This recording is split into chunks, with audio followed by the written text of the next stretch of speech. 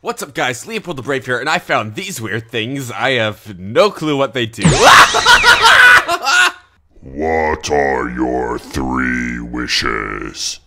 Three wishes? Nice.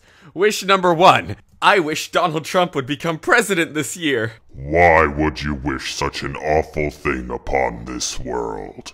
It's just a test wish to make sure you really are a magical wish granting dragon.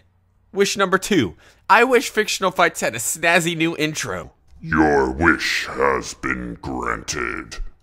For my final wish, I think I'll bring back one of the losers on Fictional Fights. But you know what?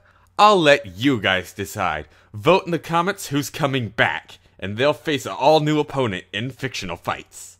now, let's check out that snazzy new intro.